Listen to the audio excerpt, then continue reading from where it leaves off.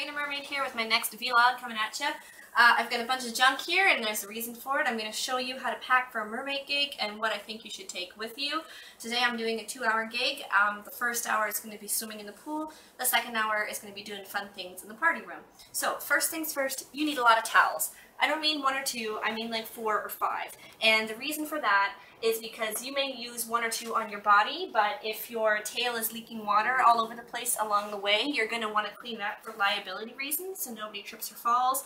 Uh, you never know when you're going to end up in a change room that's full of pee and you're going to want a couple layers of towels on the bottom there. so we always bring quite a few towels and we keep some extra in our car. Um, we're using today for transportation, I've shown this in videos before, our little dolly that we've got here and we've got our totes on top to put things in. So I'm just going to go ahead, plunk my towels in there. The next thing I've got is our camera because we do offer photographic services um, for our packages, but you may just want to bring it in order to get some behind the scenes photos or something that you can use on your website or Facebook page. Be sure you're checking out the information I've already given you about liability when it comes to photography. So, we have our package here of uh, camera gear, and uh, everything's all charged up, extra batteries, extra SD cards, everything you can use in she goes. Uh, one of the things you might notice while I'm picking up all my things is that I've got Halifax Mermaid labels on everything. Um, this is really great for advertisement purposes, but also just to keep track of your stuff in case something gets left at a gig or something like that. So we got these made at Vistaprint, super cheap. It's just our logo with our website on it. So if somebody sees something, they can find our website or they can return our stuff. You're going to want flip-flops if you're going to be walking on the pool deck. You don't want any nasty stuff on your feet. Um, okay, what else we got here? So, some of the essentials.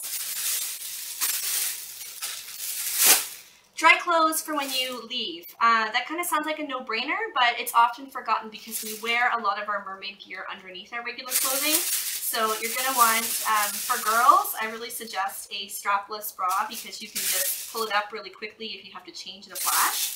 Got a pair of shorts here a top, and underwear, remember your underwear. I know it sounds really dumb, but you couldn't imagine how many gigs I've done and I've had to drive home sitting in a wet bathing suit. So make sure you've got your underwear. Put it all in a plastic bag so that if it gets wet when you're putting stuff away later, it's not going to mess it up. I hoard plastic bags like crazy because I don't want them to end up in the garbage or going uh, into the ocean. A lot of people don't realize you can actually recycle your plastic bags. You can keep tons of them and then put them in with your recycling. So we do that. Uh, I like to give our lifeguards thank you gifts and I recommend doing it on a regular basis. We perform at a lot of different pools and I'm always trying to make sure the lifeguards feel appreciated. So I've got some candy for my lifeguards today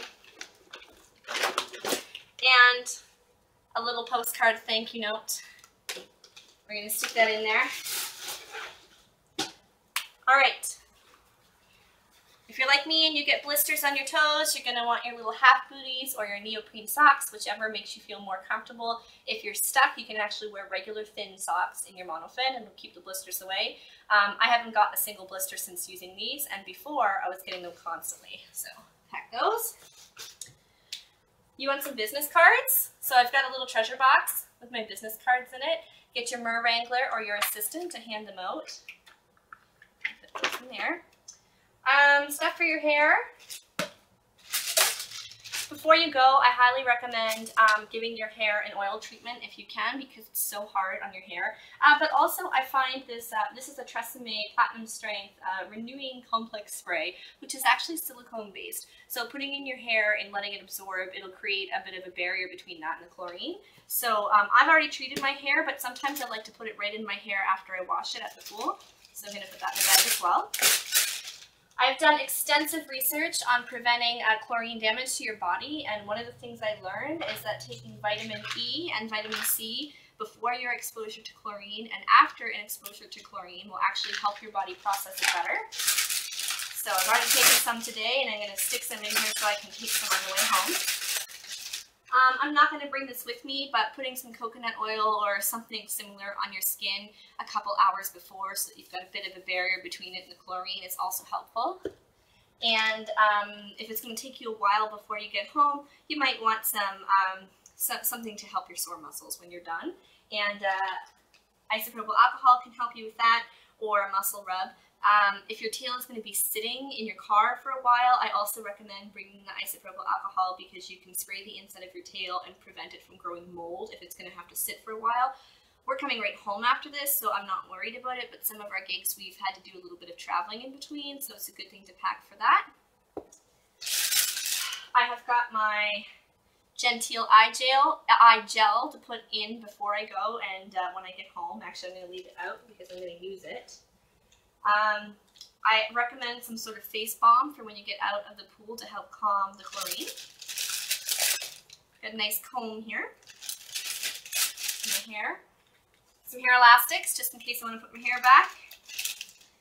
Deodorant. Summer now, we're all stinky. Um, my eyes get really bothered after I get out of the chlorine, and all I want to do is get the eye makeup off, so I've got my eye makeup remover as well.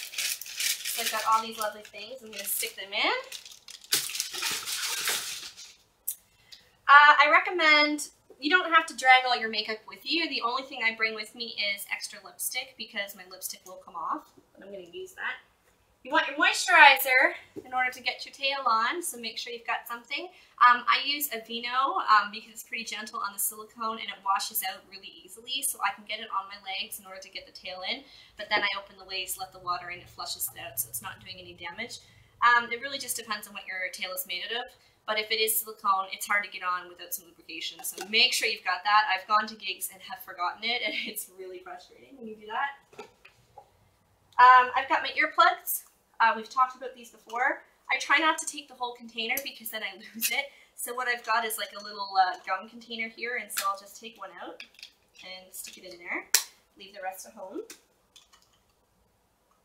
And there it is.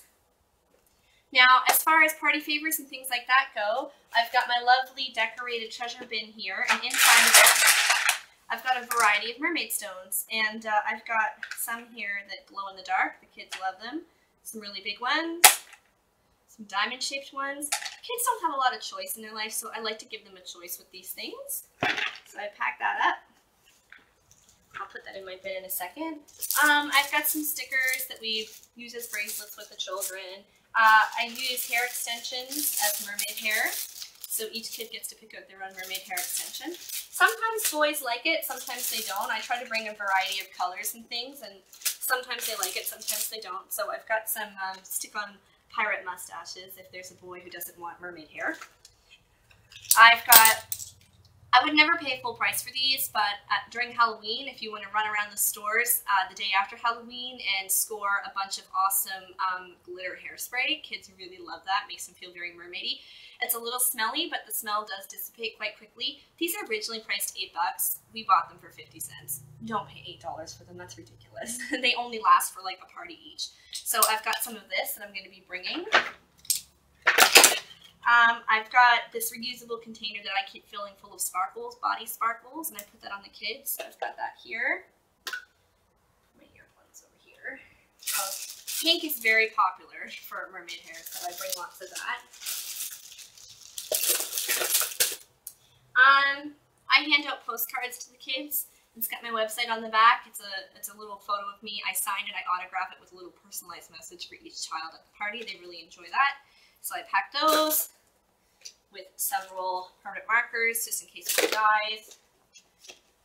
Um, we have a bungee cord.